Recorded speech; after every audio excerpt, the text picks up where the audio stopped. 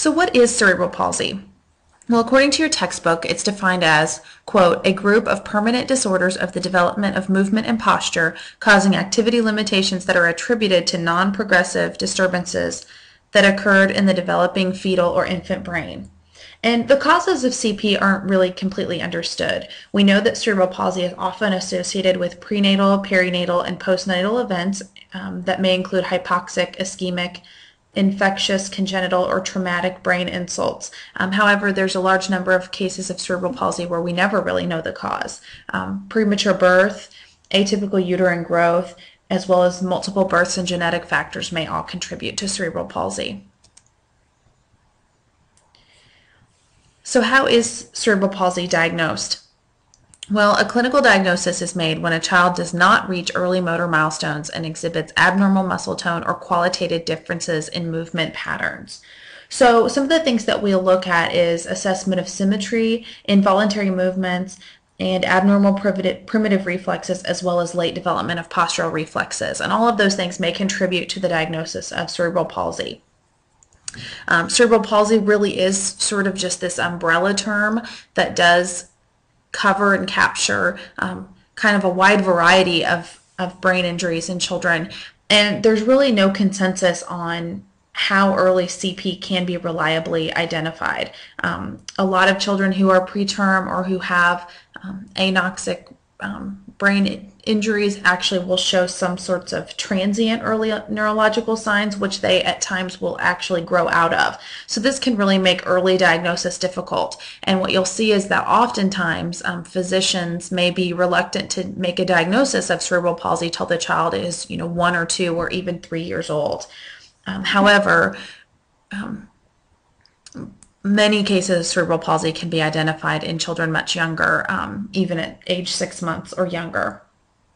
And it is important when we're trying to figure out um, a diagnosis of cerebral palsy that we differentiate from other conditions, atypical uh, motor trajectories, and again, that transient dystonia that's often associated with prematurity. We have to make sure that we rule out a number of other diagnoses so that we know what we're really dealing with is cerebral palsy. So how is cerebral palsy classified? Well, um, historically, we've classified cerebral palsy based on the impaired area of the body and the movement abnormality. So monoplegia refers to um, only one limb affected. That's pretty rare. Um, diplegia refers to all four limbs are affected, but the legs are much more affected than the arms. Hemiplegia refers to involvement of just one side of the body, so one arm and leg on one side of the body. And then quadriplegia refers to involvement of all four limbs. And we look at the movement abnormality, we see that there are, one of the most common type is spastic cerebral palsy, where we actually have spasticity of the muscles. There's also dyskinetic or athetoid cerebral palsy, where we'll actually see fluctuating tone, um, kind of writhing movements. These children may have um, really low tone in the trunk and very high tone in the arms.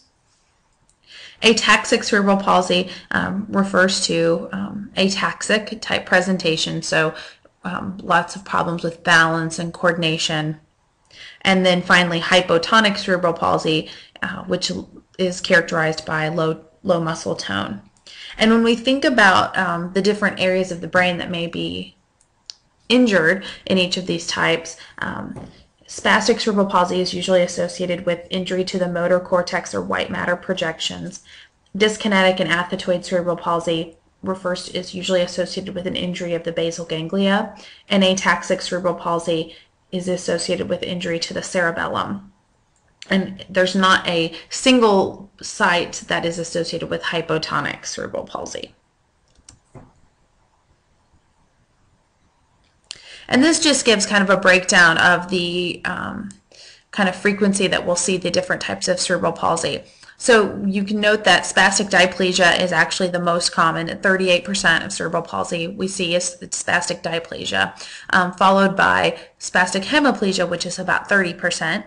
About 5.5% of the cerebral palsy we see is spastic quadriplegia, 9.5% is dystonia, 5.5% is athetosis, 11% is ataxia, and then in 2% of cases we see mixed type of cerebral palsy. So we may see mixed um, spastic quadriplegia with athetosis or something similar.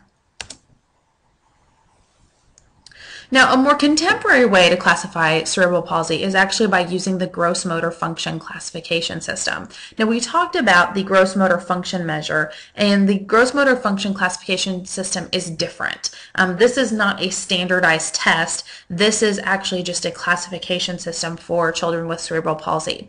It's five levels, and children are categorized by level and their age. It places children with cerebral palsy in categories of severity based on performance and functional motor skills such as sitting, walking, and wheeled mobility. Um, there are actually four age bands, birth to two, two to four, 4 to 6, 6 to 12, and 12 to 18. So based on the child's performance in these functional skills and their age, they're actually classified into one of the five levels. And research has shown that the GMFCS is actually highly reliable and valid um, it's stable over time, so once children are classified, they typically don't change levels over time. And this is particularly true at preschool age and older. So the birth to two-year-old age um, band may be a little bit less reliable, but once we get up into the two to four age range and above, um, this is a, a highly reliable, uh, valid, and very stable way of classifying children.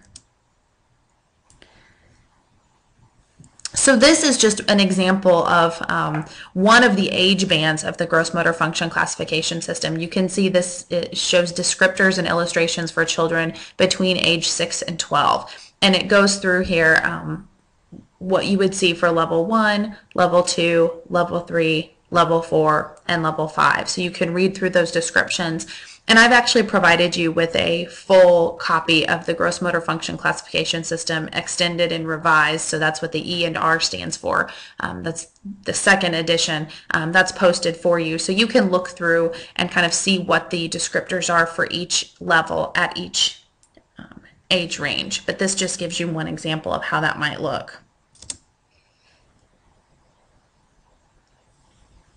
Now, these are um, gross motor development curves created by Hanna Rosenbaum and Bartlett using the gross motor function classification system um, along with the gross motor function measure. So you'll see here along the um, left side here, you see the GMFM 66, that uh, refers to the gross motor function measure. And then along the bottom here, you see the ages in years and then you'll see the different levels. So basically um, what they did is they stratified the children by age and gross motor function classification level and then they administered the gross motor function measure repeatedly to these children and they um, ended up creating gross motor development curves that represent the average pa pattern of development for children in each of the five classification levels. So um, you can see that a couple things that are important here is that first of all you can see that at any level so levels one through five we really see that gross motor function um, tends to plateau in around the age of, of five or so. And we do know based on this work that in all levels that children reach about 90% of their gross motor potential between the age of three and six. So lots and lots of gross motor development happening in those early years, and then we sort of tend to maybe have some small increases in gross motor development, but not, not necessarily really large. Um, for all five levels, children progress faster to their maximum gross motor function uh, measure score at younger ages, which then is followed by this leveling off which you can see in levels one and two, there's actually leveling off. And levels three, four, and five, we actually see then a decline that occurs over time. So you can see at level um, five, the peak is about age six and a half. At level four, we peak at about age seven. And then in level three, we peak at about age eight or so. And then over time, those those actually decline. And remember, the levels 3, 4, and 5 are actually our more severely affected children. So what this shows is that in our children who have more severe cerebral palsy, they actually have more of a decline over time.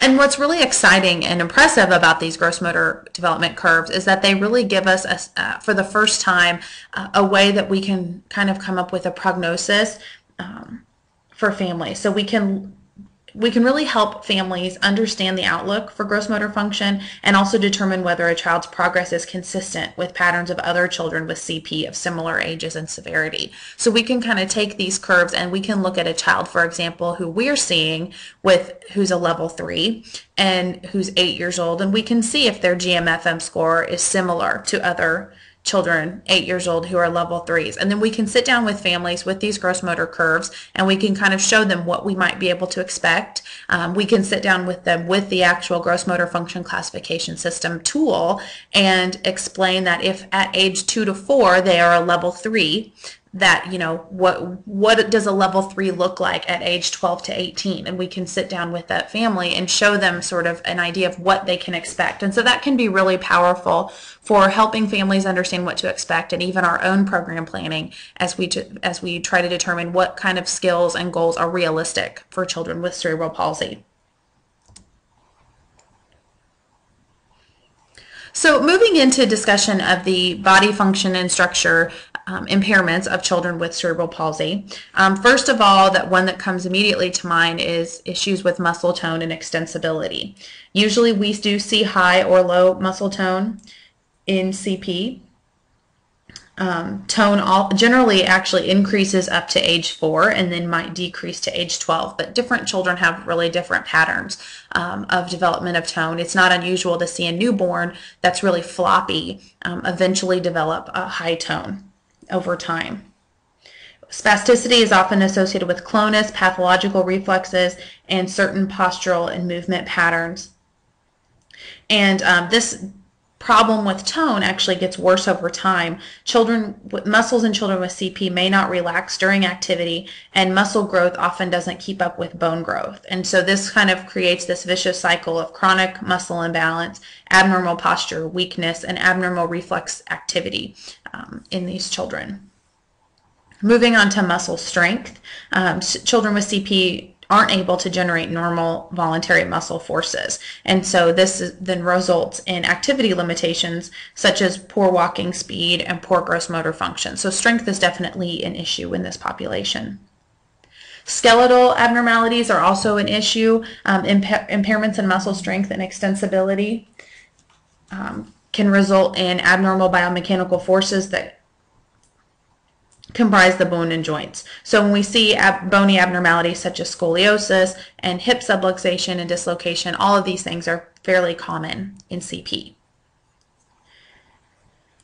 Selective control, postural control, and motor learning also um, can be difficult for children with cerebral palsy. Um, oftentimes children with CP have difficulty isolating their muscles in selected pattern and responding to postural challenges. They can have problems learning new movements and um, have limitations in cognition and perceptual motor skills, as well as a lack of opportunity to practice these skills. So that can all kind of lead um, into their problems with motor learning. And then pain is also a common complaint of children with cerebral palsy.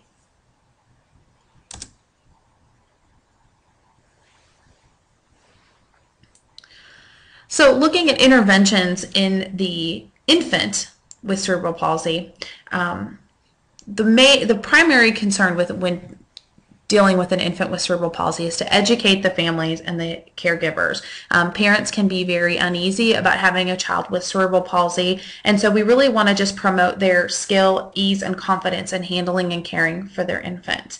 Um, handling and positioning should encourage active movements and encourage ex the experience of normal movements and postures. And so we may need to use equipment to facilitate activities such as sitting and standing. Um, we may need to position babies in a you know lying position using towel rolls and other props to kind of help get them in a typical position, for example, with their hands together at midline. So we really want to focus on, on handling and positioning that really promotes that typical, um, those typical movement patterns and typical postures. At this age, we also want to facilitate um, optimal sensory motor development. Um, we need to focus on well-aligned postural stability and smooth mobility to allow for attainment of motor skills and milestones. The normal motor developmental sequence is is optimal and that's what we're trying to take the child to and that certainly may guide our interventions but physical therapists should understand that children with cerebral palsy don't necessarily always follow a quote normal sequence. And so although it's important to go through those normal developmental milestones, um, therapy may need to be more functionally oriented at times. As children with cerebral palsy move into preschool ages, um, we really want to just optimize their gross motor skills and reduce and prevent secondary impairments. So as you can imagine, um, the spasticity in a child with cerebral palsy can oftentimes lead to the second secondary impairment of um, orthopedic deformities. So we may need to um, really look at spasticity management, orthoses, and weight-bearing programs for children with CP to prevent those secondary impairments. We also want to promote play, um, communication, self-care, social skills, and problem-solving skills in addition to the motor skills that we're looking at. And we really want to um, think back to our motor learning principles where we want to encourage movement exploration, child-initiated solutions to motor tasks, and adaptations to changes in the environment, as well as uh, repetitive practice of goal-related functional tasks that are meaningful to the child. So we really want to encourage all of those things um, in order to optimize gross motor skills and promote play and self-care. And then, of course, in this age, we really want to promote mobility. So if ambulation is appropriate and it's indicated, we want to work on, you know, preparatory ambulatory activities. We want to give children ambulatory aids uh, if needed. Um, oftentimes we see children with cerebral palsy use posterior walkers, and um, those are often used in pediatric, uh, pediatric patients as research shows that those types of walkers tend to encourage a more upright posture, promote a better quality gait, and decreased energy expenditure. Now, for some children, walking may be impossible or inefficient, and for those kids, we really need to try to find an alternative means of mobility. So, of course, we may look at um, a manual chair that they would push on their own, or a power mobility device for the child to drive themselves, um, but even things such as uh, an adaptive tricycle or a commercially available motorized, you know, little toy truck or things can be used with kids by kids with cerebral palsy to get around and can sometimes be adapted um, for them to use for for mobility.